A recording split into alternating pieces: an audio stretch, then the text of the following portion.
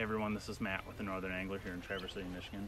This morning we're out on the Boardman River. It's a little buggy, it's a little muggy, and it feels like it's time to do some hopper fishing. Today we got three tips to improve your hopper fishing for this summer. First off, you gotta have the right setup.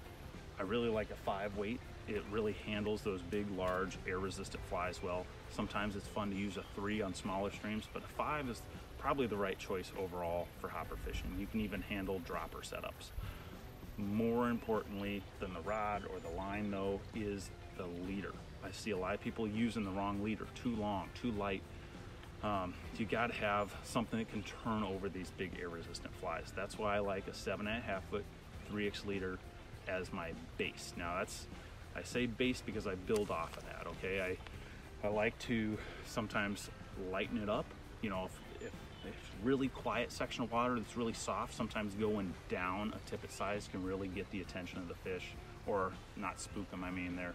So know that a base leader is a, a good idea because leaders, remember, leaders and tippet give you a modular system. A lot of times right now, I have 5X right off my hopper here and I'm running a dropper.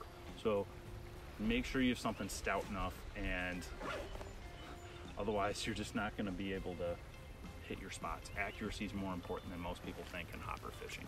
Okay, number two is add some motion. You know, we have all these rubber legs on these flies. A lot of times they move on their own, more subtle than we realize. And in again, in quiet water, don't always add a lot of motion, but when we get some riffles, first thing you can do is add a splat.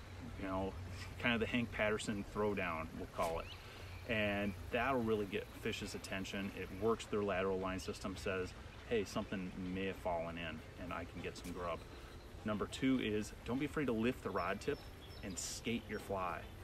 You know, especially at the end of your drift, I can't believe how many fish will rock it out of the water and just go airborne trying to eat that thing because it looks like it's trying to get away, right? It gives it that prey image that fish crave, all right? So splat down, dance it, and don't even be afraid to add a little strip here or there. Remember, if, if what if you fell in the water? You're gonna start swimming, right? You're gonna start trying to get away.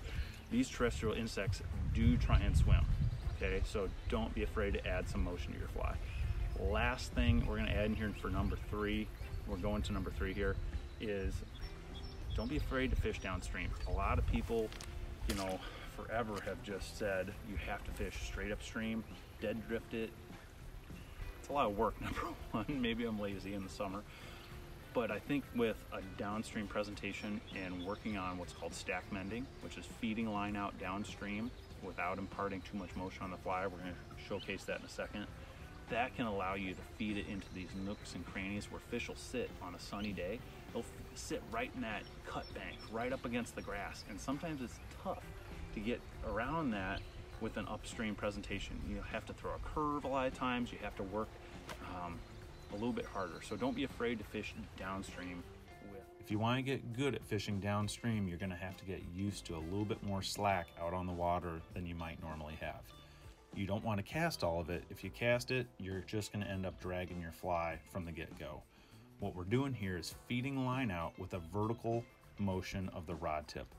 Now I'm also feeding line up with my left hand that's my control hand up to my right index finger. That right index finger allows me to choose exactly how much line I'm letting out and maintains tension in between those up and down movements. You gotta have some tension, otherwise when a fish eats, you're not gonna be ready to set the hook. Hope you get out on the river soon. We hope to see you in the shop or on the river. This is Matt with Northern Angler. I'll catch you later.